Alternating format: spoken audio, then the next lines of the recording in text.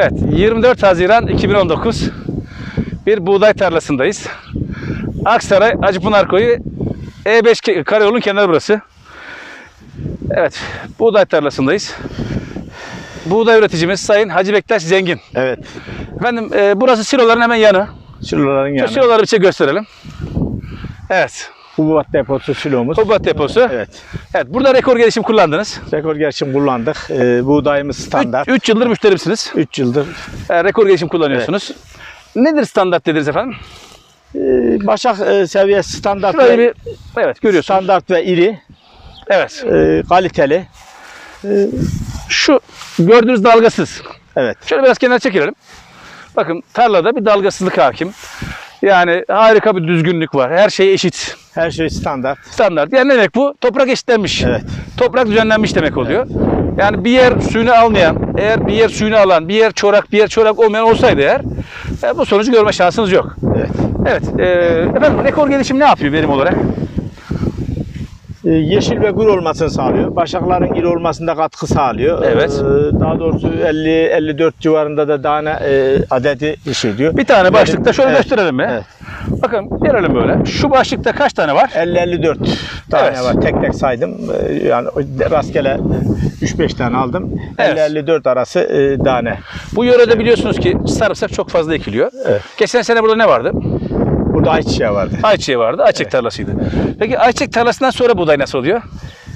Hani sarımsak da güzel oluyor da ayçiçekte nasıl oluyor tersi olarak? Ee, Onun bir kademe düşüyor oluyor. Düşüyor oluyor diyor. Sarımsakta daha kaliteli. Sarımsak oluyor. daha daha iyi olduğunu söylüyorsunuz. Sarımsakta e, herhalde Evet. e, toprağa farklı vitamin değerleri bırakıyor. Gezin şöyle, şöyle çekerek gidin biz buradayız. Konuşalım o arada. Yani müşterilerimiz, vatandaşımız e, buğday tarlası görsün, kalitesini görsün. Güzel güzel böyle tatlı çekelim. Şimdi e, efendim önce verim ne bekliyoruz? Bu cinsi nedir bunun? Makarnalık buğday e, çeşit 1251. E, Evet. Verim e, yaklaşık 700-800 kilo bekliyoruz. E, Çok güzel. e, yani e, şey ortalamaların üzerinde. Dekara ne kadar tohum kullandınız? 20-21 kilo. 21 kilo kullandınız. Çok güzel. Peki tohumu tekrar alıyor musunuz? Buradan kullanacak mısınız şu anda? Şu an bu tohumu kullanacak mısınız? E, bu tohumdan alacağım da 2 yıla bir yeniliyoruz. Ha yeniliyorsunuz. Yani bunu yine ekeceksiniz bu buradan Evet, kaldırdığınızı. E, bir sonraki sene yeniliyor. Sertifikalı buğday arıyoruz. O şekilde çalışıyorsunuz. Anladım. Ama sen daha önce hiç kaldırdığın buğdayın gelecek sene nasıl olduğunu görmedin yani. İlk kez ekiyorsun buğday. Rekor gelişim olan yerde. Evet ilk defa. Ee, belki de e, daha iyi olacak. Nereden biliyorsunuz? O- o- bakacağız. Tabii ki sertifikalı kullanmanızı tavsiye ediyoruz ama şu var. Şimdi girdilerden bahsettik. Özellikle girdileri pahalı olan ürünlerde, tohumu pahalı olan, mesela sarımsakta. Şimdi ne yaptınız? Sarımsakta artık bundan sonra rekor gelişim kaliteli sarımsak yaptığı için tohum olarak onu kullanıyorsunuz. evet. Onu, Ve ne oluyor bu sayede? Girdilerin direkt olarak %10'unu bertaraf ediyorsunuz yani. Evet. Direkt. %10, %15 yani. evet. Evet. Durum böyle. Ee, peki yılımızda 2019 yılında son bir ay Haziran içerisinde biraz pas yapıcı bir yağmurlar aşırı yağdı. Evet. Son 30 yılın anladığım kadarıyla bölgedeki hani Haziran ayındaki en pas yapıcı yılını yaşıyoruz e, bu Evet. buğdaylar için. Ortalamalı Yaprak pası. Evet. Nasıl e, durum nedir bölgedeki yaprak pası hastalığı durumu?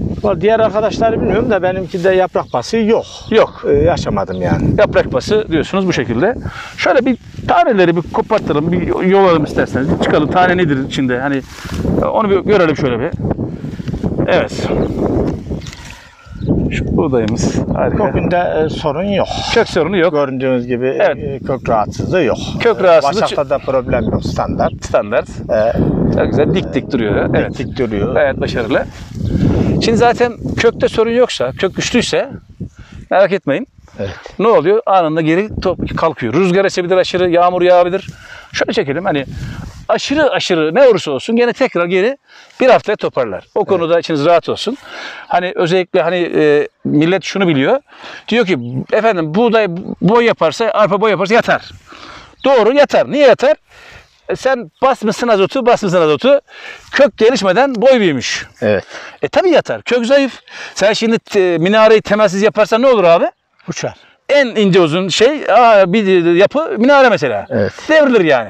Nitekim de eğri minare vardır ki Aksaray'ımızın meşhur eğri minaresi de vardır yani. Evet. Yani demek ki temelli tabii ki yapacaksın. ya depremde olmuş olabilir ayrı konu. Evet. Şimdi yapanların Allah razı olsun o da bir turizm şey oldu şimdi eğri minare. Evet. Hani birileri düzeltmeye çalışıyor falan. Evet. Ama nihayetinde iş lafı lafa açıyor. Yani nihayetinde tabii ki halle kök bundan dolayıdır. Ee, yani kök zayıf olup da bitki aşırı büyüdüğü için, boy yaptığı için, e, sürgün verdiği için azotla. Ha tamam. Ha, ama kök güçlüyse e, buğday üreticileri kesinlikle merak etmesinler. Buğdayın Yani çok güçlü olduğunu görüyorsunuz. Başağında iyi olduğunu görüyorsunuz. Herhangi bir yatma da söz konusu değil. 750-800 gibi rakam bekliyorsunuz. Evet. Peki ortalama yıl olarak buğday için nasıl bir yıl yani? Ee, 4-500 kilo civarında. Ortalama diyorsunuz bu civarlarda. 500'ü pek geçen zannetmiyorum. Zor diyorsunuz. Öyle Sarımsak yeri olsa da. Evet. Yani o civarlarda. Evet. Ama rekor gelişim kullananlar Ee, şu anda aynı sizi yakalıyor hepsi. %30 gibi. şey Rahatlıkla yapıyor. fazla. Zaten Tabii diğer bakımlarda e, bunun yanında etkendir. Yani Devletin ille rekor açıkladığı fiyat nedir efendim? 1450 lira. Ee, bu tabii şeylik makarnalık Makarnalık. buğday. Dolayısıyla özel piyasada biraz daha fazla olabilir yani. Kaliteye göre değişebilir. Kaliteye göre değişir. e, Üretime göre değişir. e, Kaç piyasa- dekalık tarımla uğraşıyorsunuz? E, 200. 200 çok güzel. Şimdi sizi görenler diyecek ki aa 200 dekar üretici biz de toprak düzeni satıyoruz. Tamam biz de satıyoruz. Ararlar sizi. Yapışırlar. Abi yarısı aynı kalite daha iyi kalitesi size. Soranlara zaten tavsiye ediyoruz. Bir- Yok soran değil. Size başka şey satmaya çalışan başka e, bizim e, bizim firmamızdan aradığını söyleyip e, başka başka üç kağıtçı firmalar maalesef çıkıyor türüyor. Bunlara itibar etmeyin. Çünkü e, bir marka kendisini öne çıkarmayıp da bizim markamızda bir şey satmaya çalışıyorsa bilin ki başınıza kötü kötü şeyler gelebilir. Dikkat edin. Çünkü bundan sonra size, çünkü bunu öyle verdik televizyonlara. E, patladı gitti. Herkes duydu, inceledi, gördü. Hemen anında size yapışırlar. Hani aynısı aynısı aynısı diye. O yüzden de buna dikkat edin. Onu öncelikle söyleyeyim ben hale. Şöyle gezelim. Ee, her ne kadar şu şurada bir şey yapılıyor. Nedir o efendim? Şu içeride var şey traktör. Balya yapıyor. Balya yapıyoruz. Sapı Ee, balya yapıyor. o kime ait o tarla? Ora bir zoomlayalım onu. Recep Güven'e ait. Ha, Recep Güven. Recep Güven o kadar çok kullanılan bir isim ki. Recep ve Güven soyadı. E, Hataylı bir arkadaşımız var. Evet. E, hatta bayimiz var. Adı Recep Güven. Onun için e, şey diyorum benzer bir isim. Demek ki bu şekilde. Şimdi be- gelelim sap. Orada şimdi saman toplanıyor. E, malum e, verim güzelse sap da güzel. Evet. Ondan da bir para getiriyor. Çünkü buğday biliyorsunuz ki para getiren bir şey değil. Yani insanlar masrafsız olduğu için ekiyor. Yani ekecek parası olmadığı için yer yerine ekiyor.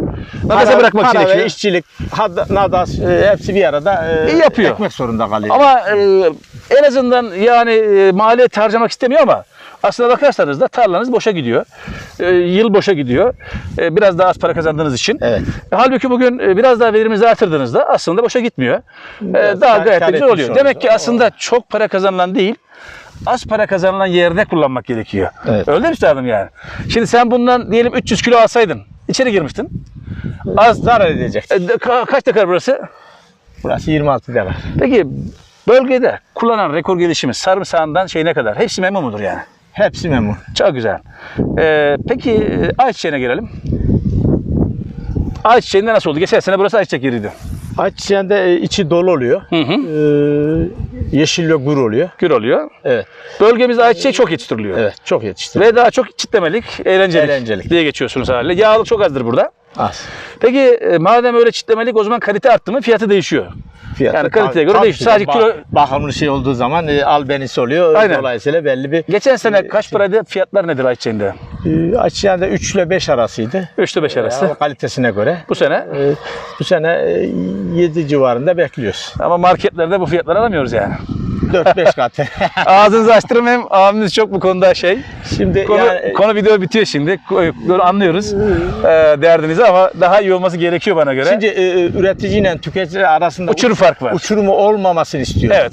Biz burada 5 liraya satıyorsak e, onların 6 liraya, 7 liraya gibi Şimdi- yemesini istiyoruz. Bu mesajı merak etmeyin. Alması gerekenler artık aldı.